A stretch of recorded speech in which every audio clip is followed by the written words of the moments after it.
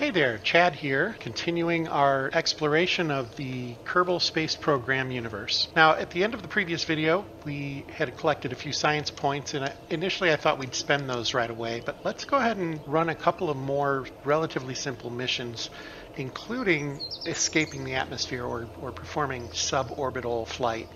Also, we're going to run one of these tests real quick. I think it's important to learn how this works because it can be a little confusing. So in the contracts, every once in a while, you'll get one that says to test something, test the heat shield in this case, or test the swivel engine. And it gives specific circumstances that have to be met in order for that to happen. The ones that say at the launch site are extremely easy. These don't require almost anything. There's literally, you click a button called run test and you've executed the contract. Uh, in this case, it's the heat shield. We don't have access to the heat shield yet in our tech tree. That will be coming relatively quickly, but when we run a test, they give us a part to test, which makes some sense. In this particular case, we simply have to be on Kerbin at the launch site. That's all this contract's going to take. It isn't a very lucrative contract, but it gives us a little bit of cash. And again, it allows us to demonstrate how run test works. So I'm going to accept that contract. Gene is excited about that. We'll go into the vehicle assembly building and we're going to build an extremely simple test vehicle. So what we will do is we will have a command pod. Uh, we don't have to do anything to it. All we're going to do is add the heat shield. This is the heat shield that we want to test. You'll notice that it says in the window there, experimental. So that's important to know and we'll drop that right on here. Now one thing I'm going to demonstrate about heat shields real quick. They use a substance called ablator and that's what sloughs off the heat. This size heat shield, you can set that up to 200. Now the thing is, is it's heavy.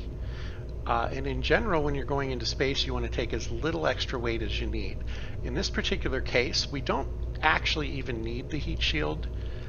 Uh, if we were to launch this, we are not actually going to launch this, but if we were, with what we'll be doing in this episode, we really wouldn't need a heat shield anyway. So setting it as low as possible, in this case 20 is the lowest it could be set where it actually is still effective, saves us quite a bit of, weight. I believe it is uh, a kilogram per, per setting. So that starts to add up pretty quickly. In this case, it's only 200. The larger heat shields, though, go up to 800. And then you're starting to talk about some serious weight and a lot of fuel that you're not taking because you're taking other stuff. Not entirely important for right now, that part, but one other thing we're going to do is just to demonstrate how some of this snaps together and some of the things we can do. I'm going to add this little segment at the bottom here. And that is going to be our test harness. We're literally going to take that to the launch pad and it's going to sit there. You'll note there was no engine on there.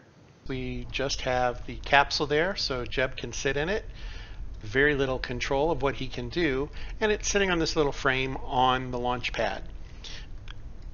To run the test, we right click on the heat shield, and you'll notice we get jettison heat shield, which allows us to drop it. We don't want to do that. And we have this run test button. Usually this won't be there, but because we have selected a test contract, it is there, and we're going to click it. And that is it. You'll notice immediately the contract complete alert came up and it says we completed the contract. That is literally it. We just ran a test. We just completed a contract. So I'm going to go ahead and recover that vessel. Uh, we collected a few funds from the returned parts because they were sitting on the launch pad. They were worth 100% of their salvage value. And Jeb gained no experience from that, which makes a little bit of sense. Okay, so on to our suborbital flight. We will go into the vehicle assembly building. We can get rid of this. Won't need that. So we're going to start with a capsule. And let's close that. We don't need to see that right now. One thing I have done is I have turned on Kerbal Engineering Redux and it gives some information about the build of the rocket as, as we move through it. I'm not going to go into any detail with that right now, uh, but it's something you're going to see on some of these videos now. And I will call out specifically what I'm looking at on that when I start to use it. this particular mission really won't need it. We are going to add a parachute to the top. And then what I want to do is add some science so we can collect a few more points. I'm going to grab the mystery goo and I want to put three of those on. So if you recall from a previous episode, hitting the X key gives you the symmetrical uh, addition and that should be three of them.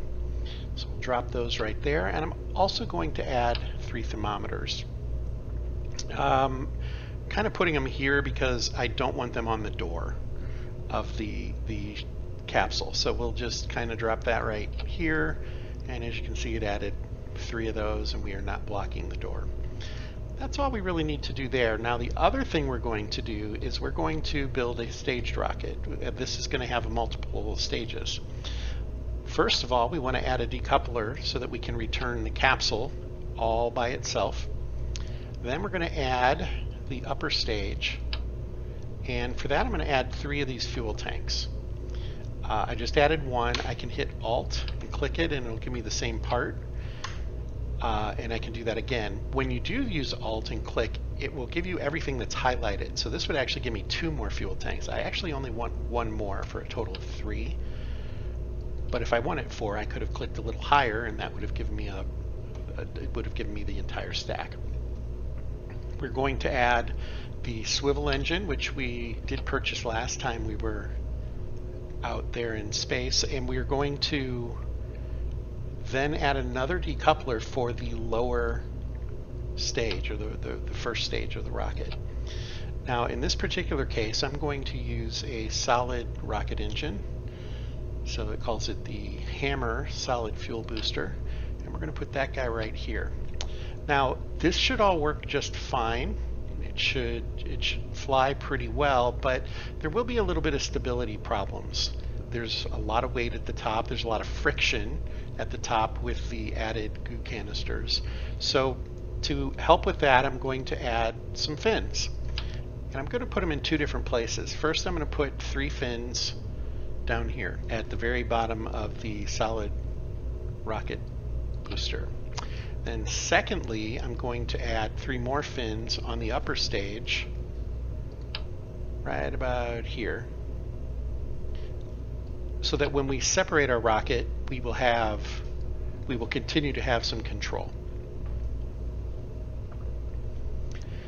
So if we look at our staging real quick, we'll back out just a little bit We have our solid rocket booster, then we have that separator or decoupler, then we have our liquid rocket engine, another decoupler, and then the top stage will have the parachute. So our staging looks good. Let's give this a try.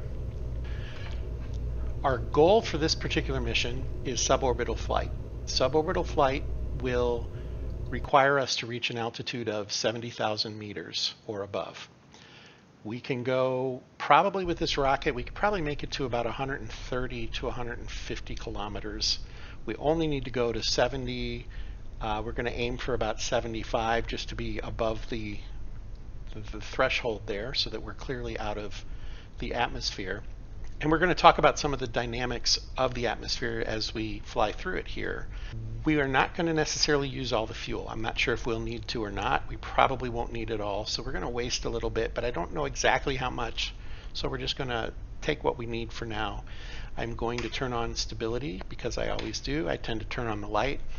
This rocket starts with the solid rocket booster, which is not throttleable, but I am going to go ahead and set the throttle to 100% for our second stage. We are going to probably fly the rocket a little bit with the throttle once we get up there though, and we'll talk about the aerodynamics of the atmosphere and what, what is going on as we fly through it. I will point this out real quick. You'll notice there's some color bands here on the atmosphere. The top of the meter on the far left is when you have exited the atmosphere. The different color segments kind of demonstrate the density of the atmosphere in those locations. So in the lower atmosphere, the air is very dense. So for any thrust we're giving, we are having to push against the air quite a bit.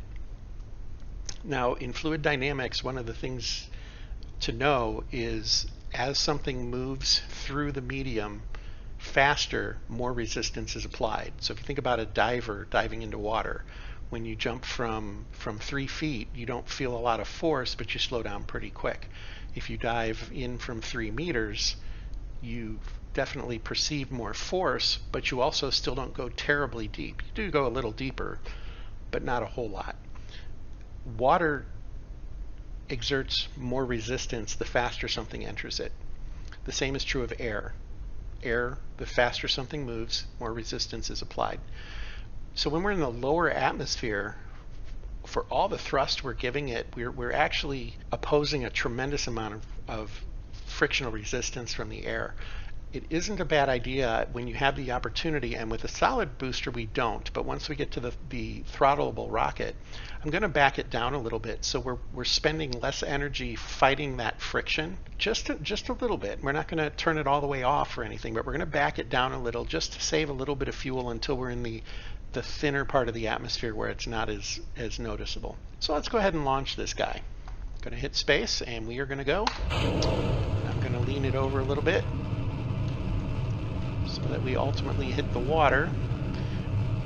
The solid rocket fuel will burn until it is done, and we have no control over that whatsoever. So we're just along for the ride. One thing I am going to do right now, I forgot to do before we launched, is I'm going to turn on this uh, here and now part of science.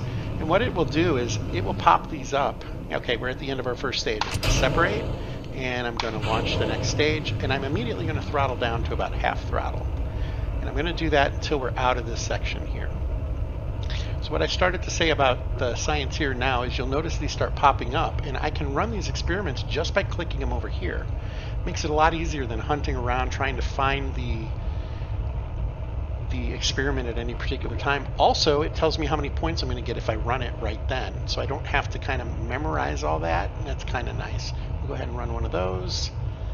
Get that out of the way. Now you'll notice we're going to top out at 82,000 feet already, so we still have a good amount of fuel, but we don't really need to use anymore because I really only have to get to 70,000 meters. I said feet, I meant to say meters.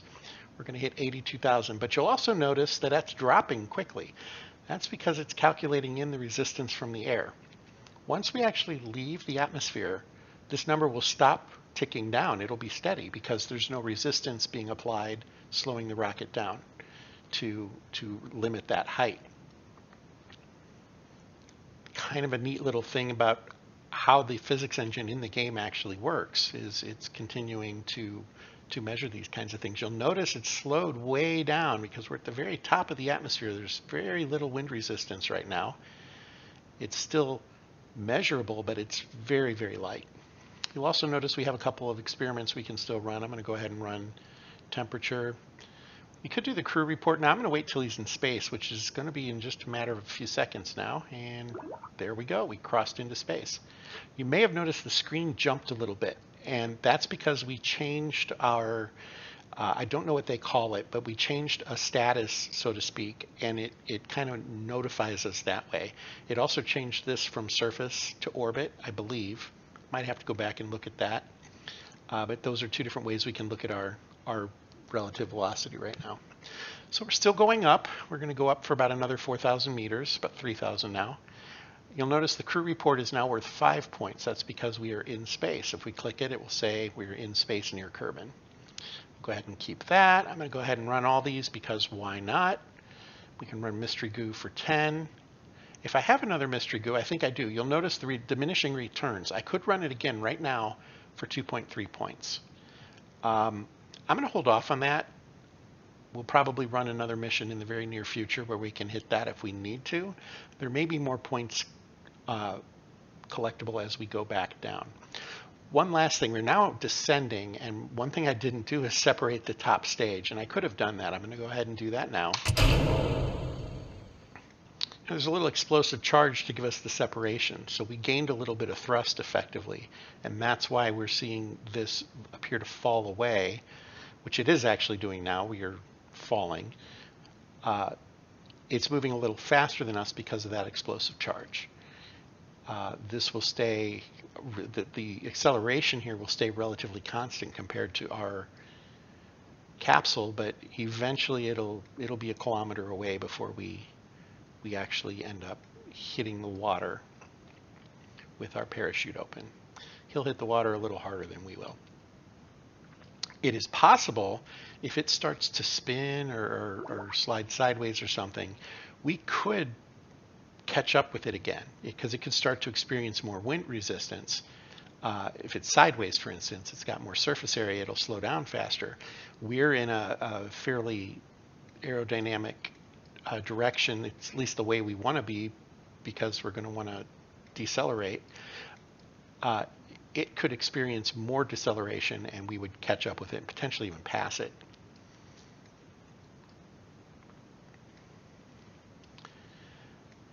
We're crossing 50,000 meters or 50 kilometers. One thing I do like to sometimes do is just zoom way out and get a better idea of the uh, just the immensity of this little bitty planet that is so much smaller than ours. During launches, you get a nice tail that you can watch too, and that's that's pretty neat. We probably will not get a fireball re, re, uh, re-entry here. Uh, I don't think we're going to be going fast enough. And got target selected now because I double clicked on something.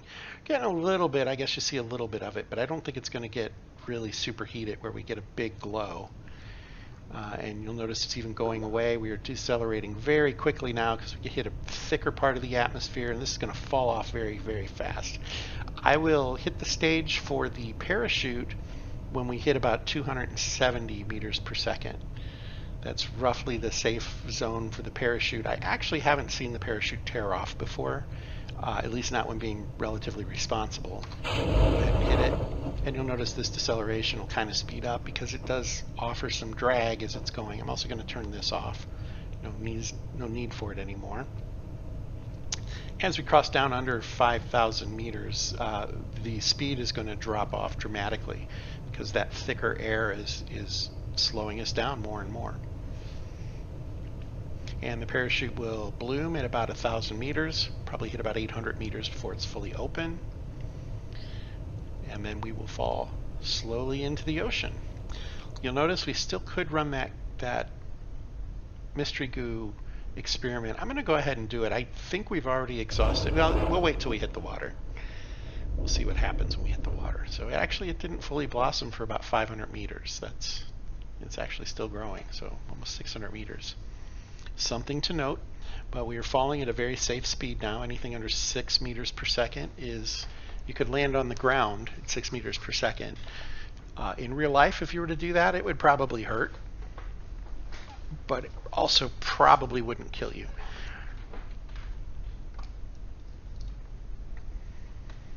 Let's go ahead and accelerate time using the period on the keyboard. Move it up to four times. And as we cross down under, say, 30 meters, I'll kill that. There we go. We see our shadow and splashdown. Here, splashdown in Kerbin's water. And we do have one more mystery goo we can run there for four. I'll go ahead and do that.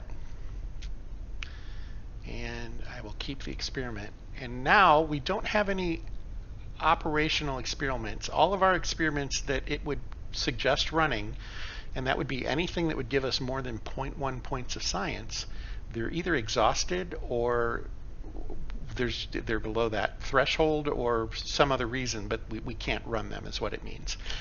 So Jeb is ready to return home. We will hit recover vessel. And we are going to see what kind of science we collected. We collected a ton of science this time. We collected 56 science points, which nearly doubled. In fact, it did double what we had available to us. So this was a very profitable outing from a science perspective. We can look through here and see exactly what we collected. Uh, I don't need that level of detail in my life. Hit next and it will show us the part collection. You'll notice our funds went up good amount here. And then we will see that once again Jeb earned no experience for what he did in our next flight, we're going to go for an orbit. We're going to try to maintain orbit, and he should start to gain points once we do an orbit, and that'll be very helpful. Thanks for joining me on this episode, and fair travels.